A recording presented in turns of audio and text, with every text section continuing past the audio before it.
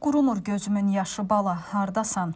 Oğlunun məzarı başında ağlayan Nasbəri Dostəliyevanın göz yaşları hər kəsi kədərləndirib. O gözümün yaşını silib yenə qayıdıram deyib. Qeyd edək ki, xalq artisti Nasbəri Dostəliyevanın oğlu Əlinin ölümündən 6 ay keçir. Oğlunun vəfatından sonra efirlərdən uzaqlaşan sənətçi ilk dəfə efirə çıxıb. O ATV kanalında Zaur Nəbioğlunun verilişində qonaq olub. Veriliş sabah efirə gedəcək. Onu da qeyd edək ki, Əli Quliyev 41 yaşında vəfat edib.